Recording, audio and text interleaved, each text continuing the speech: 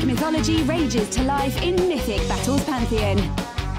Become a god and command heroes and monsters in a battle for Olympus at beastsofwar.com.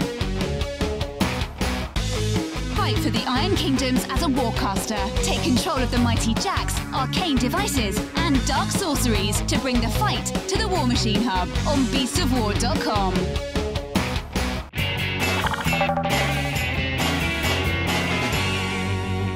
So, hi everybody, we are here in the cage with Lukash and John, and a challenge has been laid down. So, uh, Lukash, you guys have a new terrain Kickstarter running at the minute for this.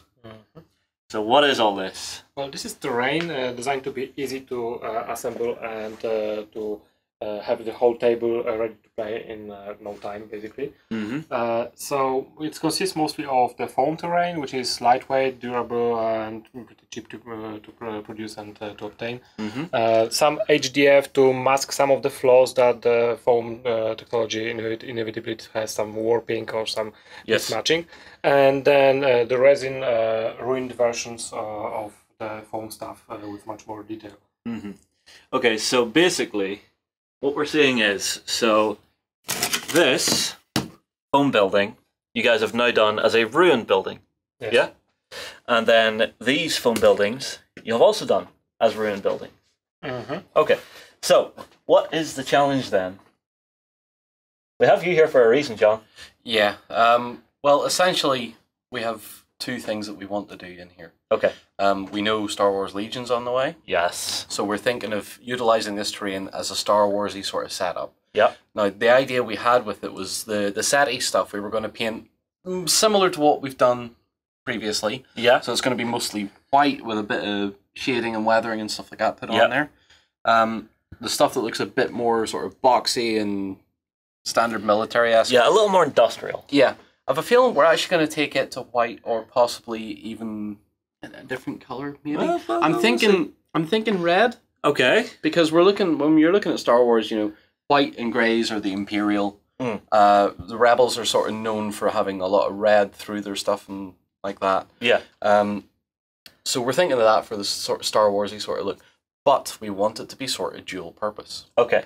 Now we obviously know that the Ceti stuff goes really nicely with Tau. Yes. Um, the other stuff, we've painted similar buildings like this in the past Yeah. for Imperial Guard, but we have enough of that. Yeah. So what we're thinking of is getting a terrain set for our Skitarii, our Mechanicus army. Ah, So we're thinking of doing the buildings, the, the big blocky ones, a bit more red, Hmm. and that'll cover the Rebels for Star Wars, and that'll cover Skitarii and Mechanicus for 40k. So we'll have a terrain set that will do two purposes. Okay, so Imperial Rebel, Yep. Tau Mechanicus. Yes. That's going to make for an interesting table. It is, I think so. Well, guys, it's time to get started, and we well, we've technically already started because we've already primed everything. So I'll reach across the table here and show you. You know, everything we got has been primed with uh, Army Painter Black. Uh, under the close camera, you can see one of the ruined pieces uh, that's been primed. This is part of one of the Tau Ceti pieces, and I have somewhere around here, if I pick out some pieces, I have some of the, the more blocky, sort of standard military esque looking ones, uh, prime black as well. So the whole lot is prime black, ready to zenith. Um, a quick one, guys. If you've never zenith before, uh, it's one of the most simple and most effective little sort of pre-shade techniques that you can use on your miniatures. And it works a treat every time. You just have to get a little bit of practice with it. Make sure you're using the, the right paints and whatnot, and you just get on with it. I'll show you the, the process in a minute.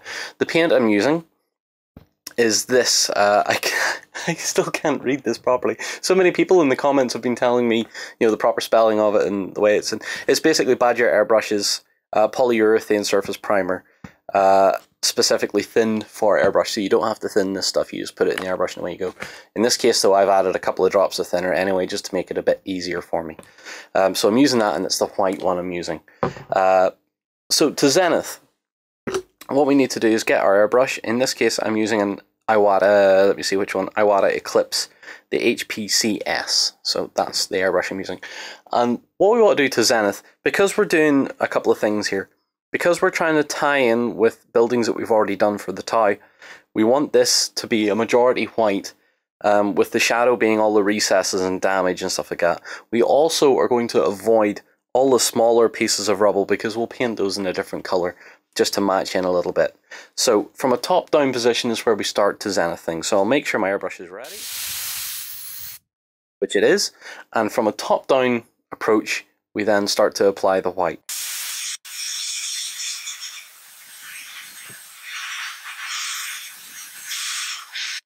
And that is essentially how you zenith. Note that you get a higher, brighter white up towards the top, and it sort of feathers itself out because of the way the airbrush works. And let's just continue around here a little bit.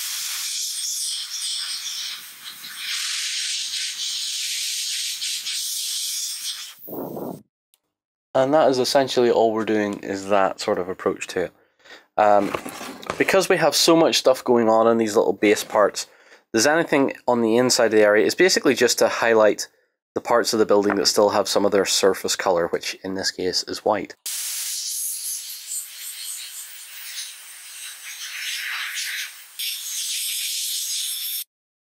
Alright, so that is essentially all I'm going to be doing on the Ceti pieces and the ruin pieces. The important thing to note is because I want to do the, the basing a different colour, probably more of a dirt, soily sort of colour, and the, the broken up rubble, it'll probably be another colour as well. I'm not too sure of that yet.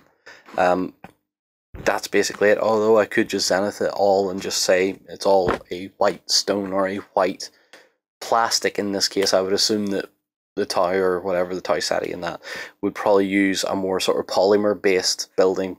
You could use that as a piece of narrative or as an excuse just to zenith the whole lot anyway. So that's all I really want to do zenithing wise on these pieces.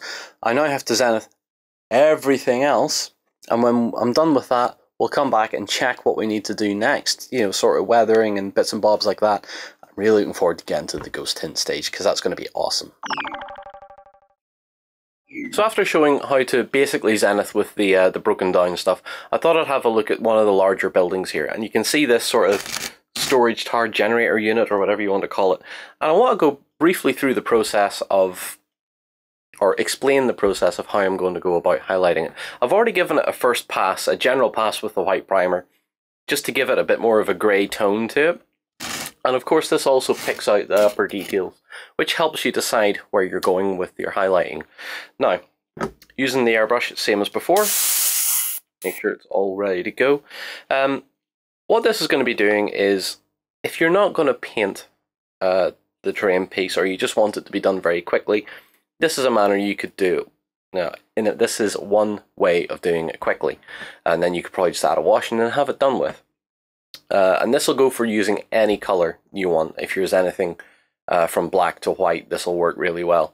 Uh, if you're doing like black to say a beige color or something like that, it should work just equally as well. And what I'm going to be doing here is just picking out areas that I really want to show and focus to bring out the shape of the building and any quirky details like this sort of paneling that's going on here. You want to highlight that a little bit. So from a distance, when you're looking at the table, you can actually see the shape of the building. Now, to start off, I'm going to work on the top of the tower, and we're just going to catch the very edge, very edge of it.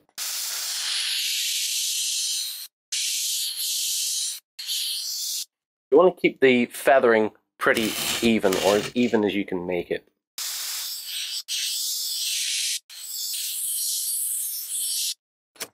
Well, pretty much do it. And then in the center here, we'll just add a little uh, dot. Like that. Now for this sort of paneling, all we're doing is trying to catch the top edge of it.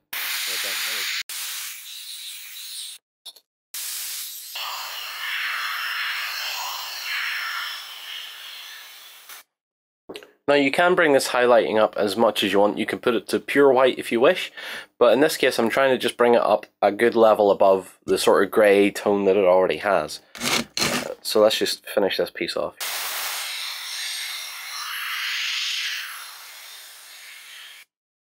Alright, other areas that you want to pick out, uh, I'm going to pick out the top of the piping here.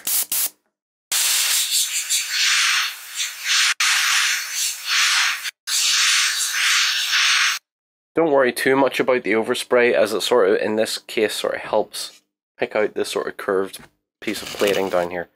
And unlike the buildings that you'll have seen me do for the Tau, if you're a backstager, you'll have seen that already. If you're not a backstager, go on ahead over and check it out. Uh, you'll get your seven day free trial over there uh, and just see how the Tau buildings went together. They look pretty good.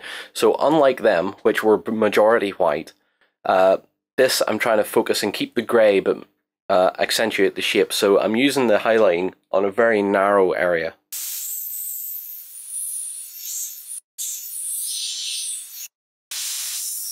For this sort of frame, we'll probably just hit that all almost entirely.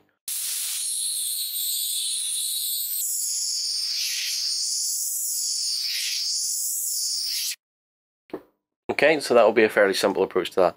Now the door down here as well, we're going to try and just focus on the frame of it.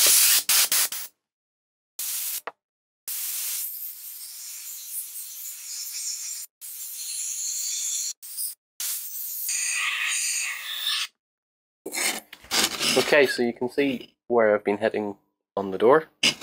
Maybe a little bit more in the corner there, perhaps.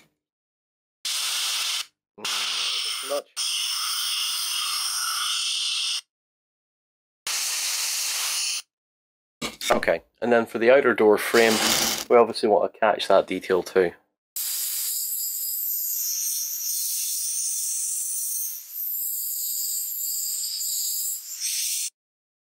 Okay, it does look a little rough, but it's not so bad.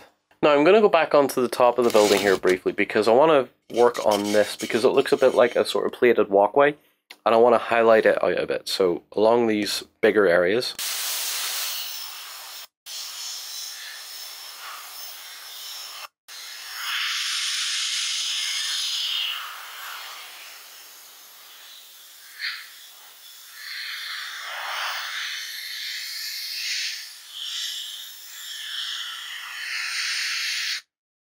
So essentially that, just bring them up a little bit and keep the darker areas just exactly the way they are.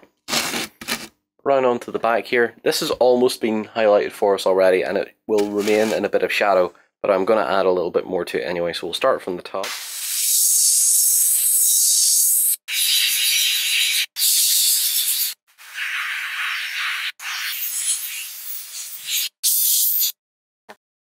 That basically covers everything on this type of building. Now, obviously, the other ones you're going to be looking at and checking out, and you'll see in the next piece where I've focused on them in particular. So I think without further ado, I'm going to continue on with this, wrap it all up, and then we'll see it all on the table. Go ahead and check out our other content on screen now, and be sure to check out beastsofwar.com for the latest gaming news and gaming let's plays. And while you're at it, why not hit subscribe and remember to ding our dong. Go on, you know you want to click it. Go on.